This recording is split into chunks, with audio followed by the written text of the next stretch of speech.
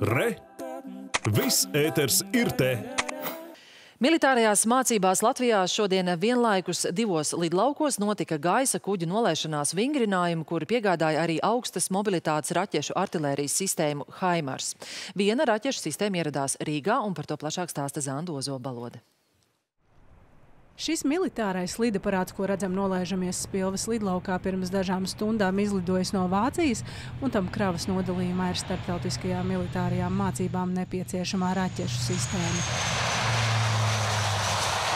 Priekš mums tas ir vairot pārliecību, ka mūsu sabiedrotie šeit ierodās ātri. Un tā ir atbilde skeptiķiem, kad cik ātrā laikā mēs varētu redzēt šeit mūsu sabiedrotos. Tās ir dažas stundas.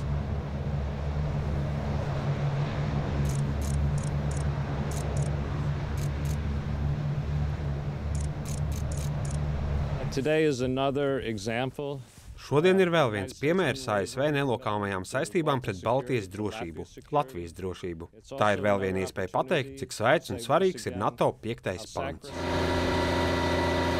Raķešu sistēma, kas ieradusies Latvijā, ir tās pašas Haimars sistēmas, kas tieši pašlaik palīdz Ukrainas bruņotajiem spēkiem, iznīcinot pretinieka armijas munīcijas noliktavas, kā arī citus strateģiskus objektus no liela attāluma.